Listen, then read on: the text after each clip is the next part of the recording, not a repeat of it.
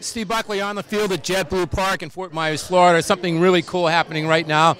The Red Sox are about to play Boston College in a spring training game. As you know, all the players will be wearing a number three Pete Frates jersey. The jerseys will be auctioned off later on.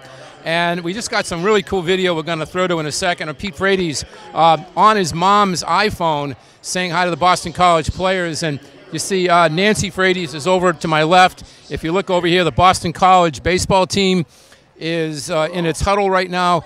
They just said hi to Pete Frates on the iPhone. So, Pete, we know that you're here. We know that you're watching. We know that you're listening. This is a great event for you. And uh, so let's throw to that tape of Nancy Frates uh, showing Pete off to all the friends down here.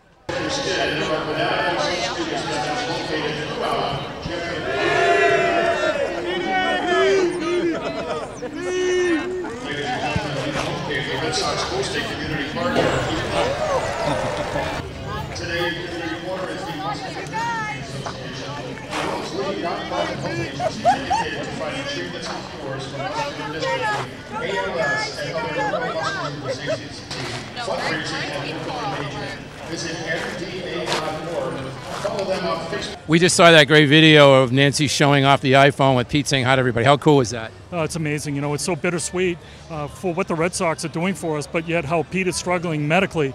But it's what he's done, what he's done to change the world, and his message is so loud and clear that we are going to cure ALS because of all his efforts. So thank you, Pete.